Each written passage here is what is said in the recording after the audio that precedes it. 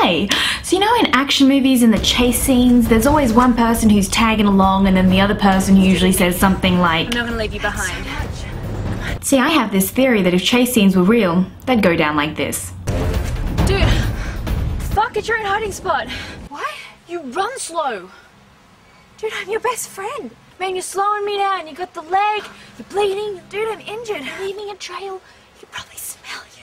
God, you're the only other living person. Yeah, so let me live. Go and find your own hiding spot. I'm bleeding. Don't make me do this. Whoa, dude.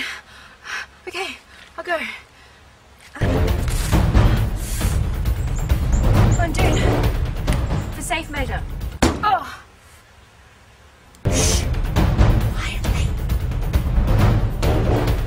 Because if you think about it, even when you played hide and seek as a kid, you never liked sharing hiding spots.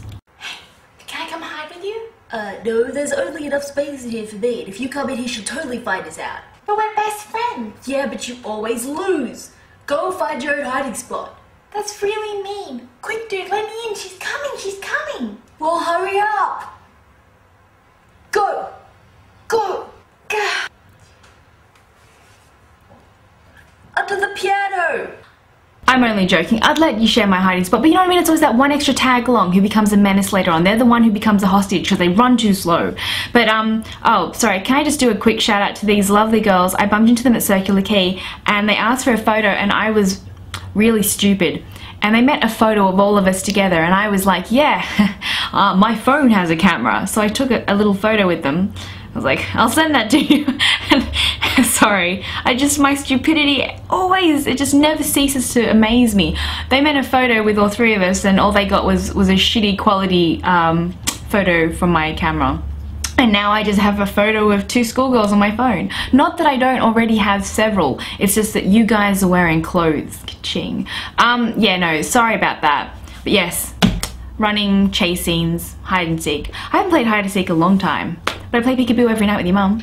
Okay, it's porno music slash comment time, and yes, I totally walk uh, away to avoid the awkward goodbye as well. But I don't know what rape alley is, man. That's that's where I meet people.